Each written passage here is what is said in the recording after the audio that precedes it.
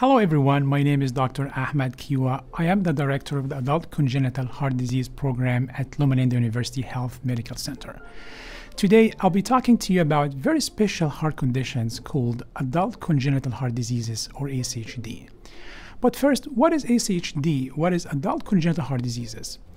This is referring to a very special group of adult patients who were born and grew up with congenital heart diseases. It's interesting to see that the number of those adults has been growing fast over the past few decades to the point that nowadays in North America we have more adults with congenital heart disease than children. If you are a growing up adult with congenital heart disease, there are a few important things you need to keep in mind. Of course, as any cardiac patients, you should eat healthy, exercise regularly, avoid smoking, and all of that. But what I would actually like to talk to you today is few other important things to make sure you are on the right path to taking good care of your heart condition. First, it's important to recognize that the care of your heart condition doesn't end in a childhood. Probably we can say lifelong care for your heart condition is necessary.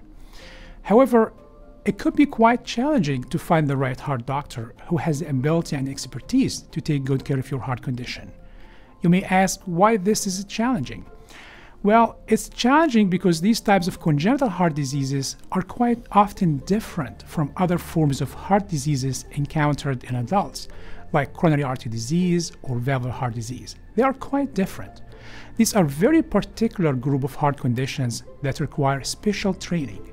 So it's important for your heart disease to be monitored and treated by a cardiologist who had formal training and expertise in this area. At Loma Linda University Health ACHD program, we have a team of experts who work closely in compassion with our patients and their families to provide them with the state of the art care they deserve.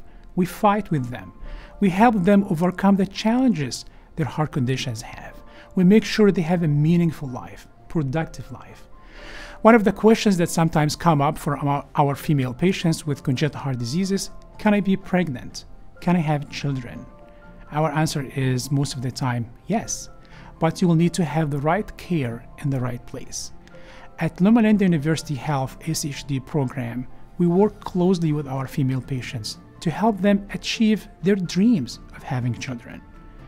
As a testimony for the high quality care provided here at Loma University Health ACHD program, we were recently recognized by the Adult Congenital Heart Association as a comprehensive care ACHD center, a center who can provide advanced and complex care to adult congenital heart disease patients. So if you have any questions about your adult congenital heart condition, please contact us. We'll be happy to answer these questions for you. We want to make sure you're on the right path for a happy and healthy life. Thank you for listening.